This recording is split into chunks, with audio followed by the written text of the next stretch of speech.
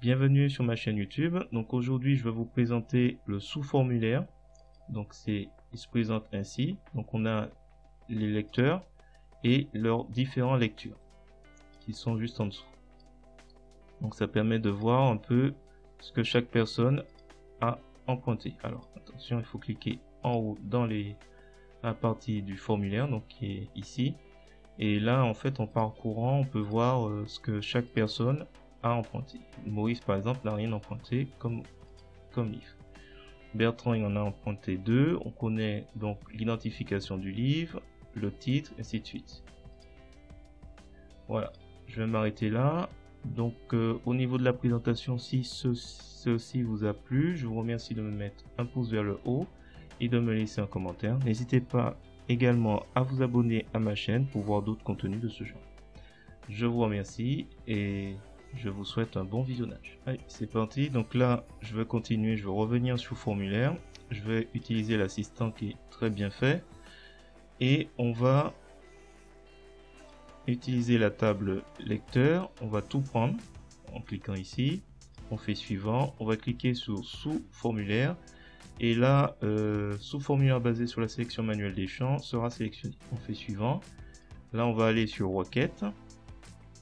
On va tout prendre et on fait suivant. Ensuite, on va faire une jointure avec l'ID lecteur, donc dans le sous-formulaire qui va être lié à au formulaire, l'ID lecteur. Donc deux ID. On fait suivant. Là, on a l'aperçu. On va décider donc de présenter comme ça, le, comme on a fait précédemment, la présentation des personnes qui lisent. On va laisser ce grand tableau. On va faire suivant. On laisse sur la formulaire doit afficher toutes les données et elle permet la modification, permet la suppression et permet l'ajout. Donc là, on, ne, coche pas pour ne pas empêcher ce, ces, actions. On fait suivant. On va faire un bleu clair. Aucune bordure. On fait suivant. Là, on va mettre euh, enregistrement des enregistrements des, des lectures et lecteurs. Et on fait terminer. Donc là, le formulaire, ça s'ouvre. On a l'ID euh, lecteur 0, donc Pino Miguel. Et là, ce qu'on va faire, c'est qu'on va euh, lui rajouter une lecture. Alors, de mémoire, il me semble que... Euh, je sais plus, c'est on a A2 en tout cas. Donc là, je vais mettre A2. Et quand je vais mettre I2 en ID,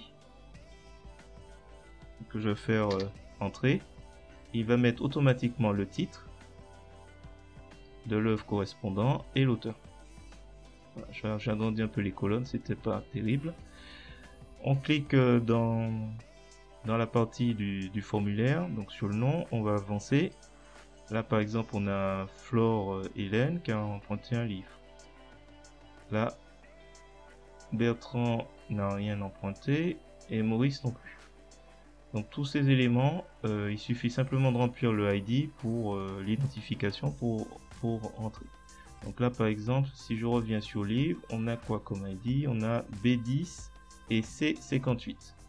Donc là on va revenir d'enregistrement et on va imaginer, on va avancer, on va imaginer que ici B10, donc il faut respecter la casse, B10 a été emprunté, je fais entrer, et voilà. Donc là du coup on a le titre et l'auteur emprunté, et je crois que c'était C, C58, C58, on fait entrer, et là on a l'autre livre qui est entré. Donc on va laisser une personne. Euh, donc on peut naviguer avec euh, la navigation dessous. Et sinon, quand on clique ici, on peut changer. Donc on va laisser Maurice sans livre. Il n'a rien pris, ainsi de suite. Donc là, on peut parcourir les enregistrements précédents. Ceux qui ont euh, emprunté les livres sont indiqués. Voilà, je vais m'arrêter là. Je vais fermer.